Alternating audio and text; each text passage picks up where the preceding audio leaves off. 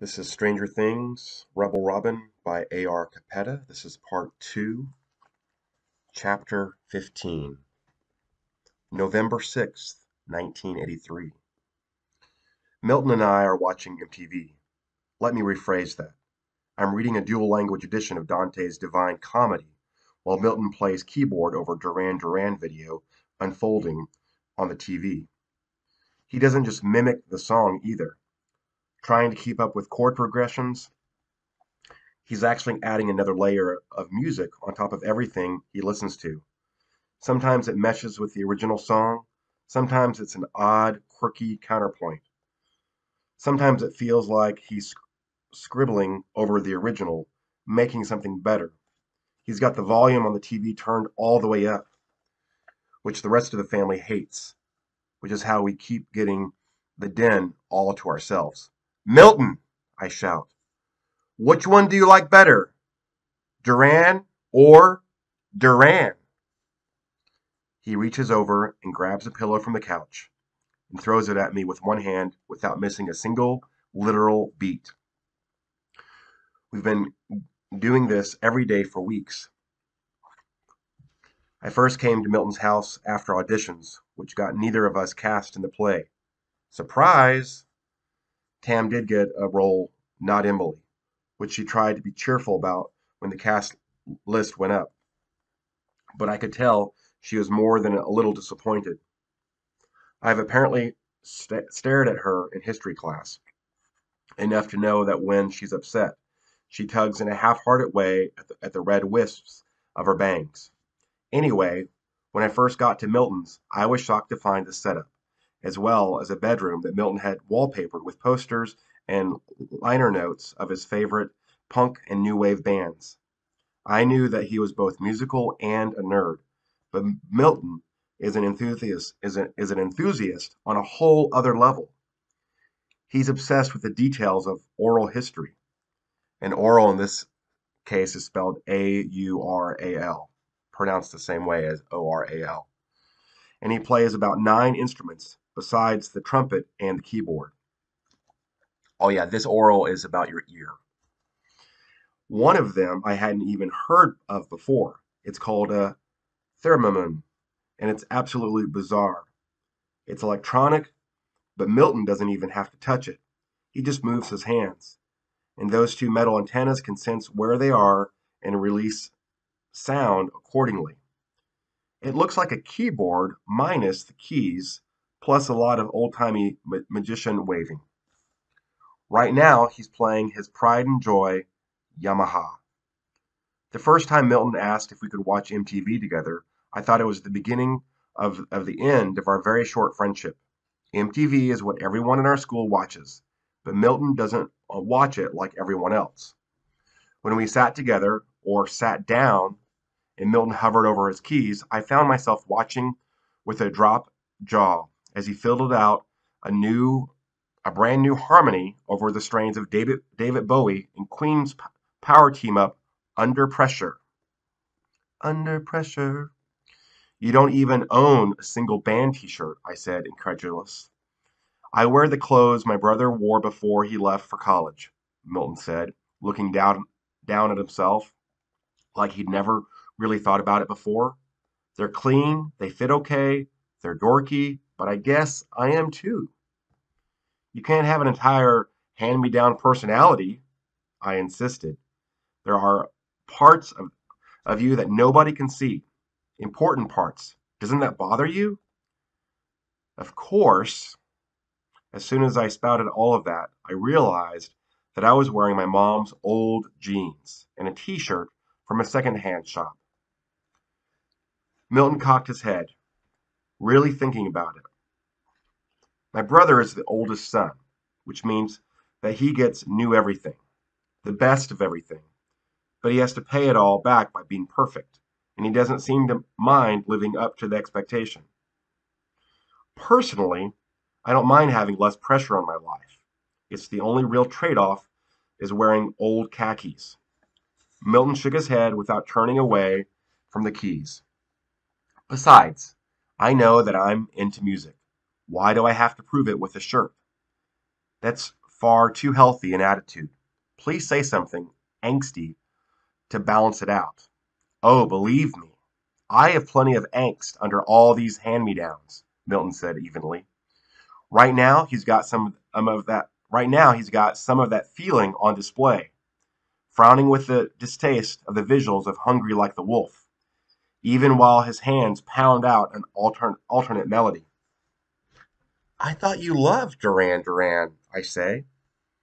I appreciate them as early users of complex electronic audio layering. Their night ver- versions are some of the first ripples of the new wave. But the visuals? So far, the vague concept seems to center on the band running around, pretending to be multiple Indiana Joneses. They're using an Asian country because they think it's exotic. I bet they don't know a single thing about Sri Lanka. And the sexy Catwoman thing is. Uh, I cringe at the phrase of sexy Catwoman. Becomes a much bigger part of the storyline. Yikes. I was wrong before. I admit, healthy and angsty aren't opposites. This is very healthy angst.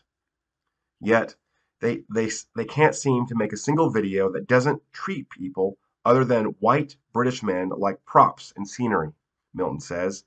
Hey, I got angsty enough to use a double negative. I'm so proud of you, and so not proud of this band, I say, clicking the channel and then turning the TV off. Milton slides into a new song, which seems to be a symphonic version of Prince's Little Red Corvette. Even though I completely threw off his his rhythm, Milton doesn't doesn't seem nervous or upset. I've realized that whenever he's in his element, playing music at home, or even better, playing music at home, his nerves melt away to basically nothing. How do you do it? I ask, setting my chin on the arm of the couch, my legs kicked up behind me. We've talked about this, Robin. How do you read poetry in a revolving door of four languages? Three of them are in the same language family, I say with a smirk. Milton throws another pillow, but this time I'm ready with a counterattack, throwing one that knocks his down in midair, with a second pillow lined up to hit him right in the chest. It makes sense in my head, I say, sitting sitting back sitting back victoriously. It's like as soon as I can see enough of the words, the second I unlock some kind of understanding, the rest starts to fill itself in. That's how it is with music too, he says. You know, for a band nerd, you don't think in music, you think in words and puzzles and problems to be solved. What do you like? He's goading me, and I know it. Milton has a lot of talent, but he thinks of, of himself as a fan, first and foremost. He loves, not necessarily in this order, sci fi novels, cult films, comic books, and every form of counterculture music. He has a soft spot for new wave because the electronic instruments they use come from Japan and as he told me the second time we watched MTV together, that makes it half Japanese, like me. I don't happen to share his love of fluffy haired singers and pulpy paperbacks with solemn looking aliens on the cover, but I must be a fan of something according to Milton. There's a lot of dislike out there, though. It's a veritable buffet of bad choices. There's so much that I'm dead set against, that sometimes it can't be hard to remember what I'm for. Echo and the Bunnymen, Brian Eno, Cyndi Lauper. Cyndi Lauper is a pop singer, Milton says. And you're a pe- pedant, I shoot back. Have you listened to her album? Or do you just sneer at the singles? Ouch! Milton clutches his chest. Then he turns back to his Yamaha. All Through the Night is a great song, he mutters, and immediately takes up the weird electronic bagpipe solo note for note. You do know what I like, I say.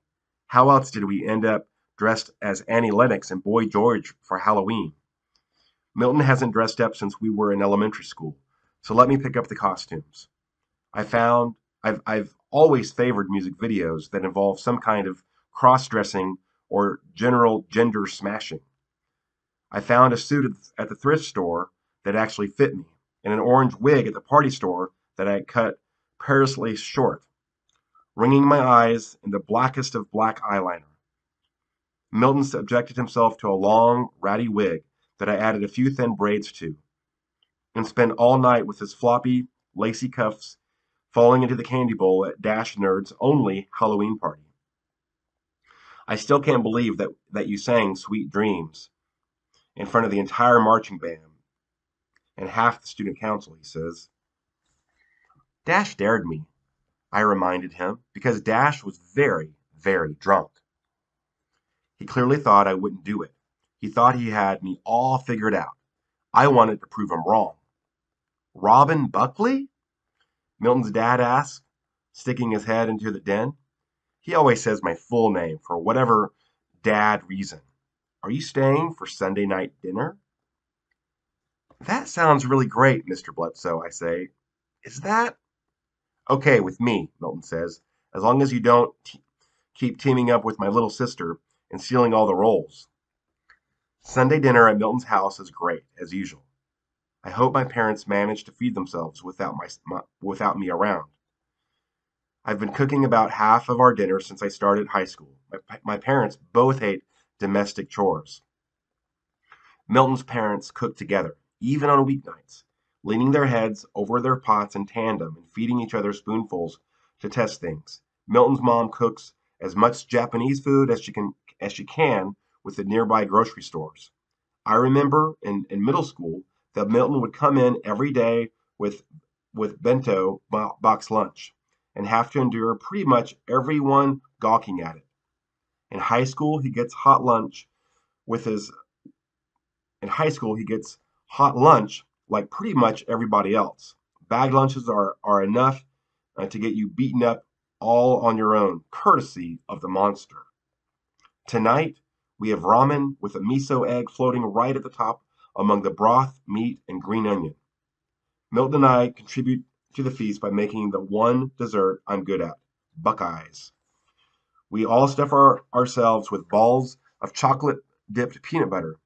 Milton's sister, Ellie, puts one in each of our each of our cheeks and pretends to be a squirrel. I do it too, pretending I'm 12 again.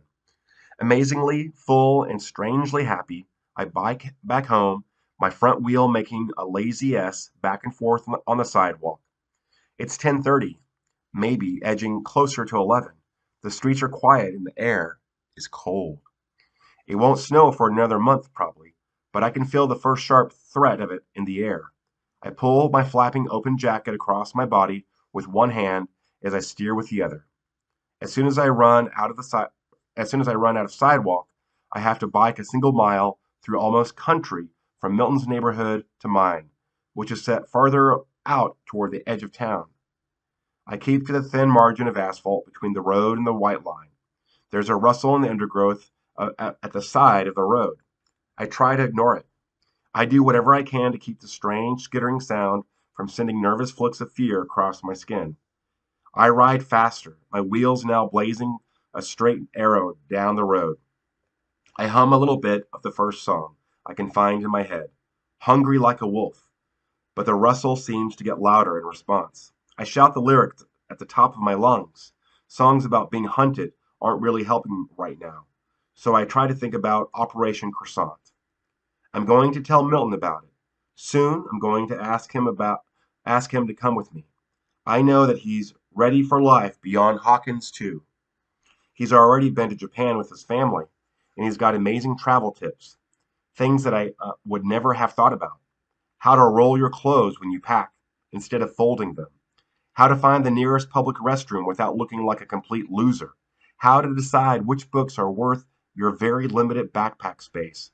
I'm already starting to think that if Operation Croissant works out, we could branch out and visit more countries together. And what about Milton's bands? We might need to plan a road trip to see live music in Chicago and California and New York. There's so many places that aren't that aren't here. So many places where, where that rustle in the bushes isn't something that I have to think about ever again. Headlights pierce the night behind me, and the rustling goes quiet as a car passes right when I um, let myself believe it's gone, it's come back. Louder, closer. There's another sound beneath it, of soft and pulsing, something like blood rushing through a heart or a breath dragged up a windpipe. I pull onto my street, and by the time um, I, I drop my bike in the driveway, I'm running scared, and I don't know what it is. I sprint to the door. Thank God it's unlocked. Slam it shut, twist the lock behind me, and push my back against the solid wood. I wait for what? I honestly don't know. It's dead quiet in the house. My parents must be asleep. The phone rings so loud that I jump and let out a, a little shriek, the way you sometimes let out a little pee when you laugh too hard. And I pick it up, hoping for a voice, any voice. I hear a second of hard breathing, and I think that whatever just happened to me is happening to someone else in Hawkins. Robin! I sink down to the floor, bringing the receiver with me. The famili- familiarity of the voice on the other end erases a good 50% of my fear. Kate? You didn't answer me the first five times I called. What's going on now? Are your parents being weird about phones now? No, I just, uh, I can't imagine telling her what just happened. What would I even say? A raccoon was skittering around in the underbrush, and I had a full breakdown? I guess I stayed at Milton's um, later than usual. I offer faintly. Well, I'm glad you're finally home, because I have an update. I can hear the glow in her voice. What is it? I ask, knowing that she'll talk about Dash, and for once I'll want to hear it. They're, they've been having sloppily, sloppily secret makeout sessions ever since Halloween. But if it isn't official yet, which I know is killing her, we went out she tonight, she breathes. Out? She starts in on she starts in on the details of the latest almost sort of date. Her voice wraps uh, me up in a blanket of normalcy. I twist the phone cord around me. Once, twice. I've almost stopped thinking about whatever was out there in the dark. And then, with the crackle, the phone goes dead. And I'll read chapter 16 very soon.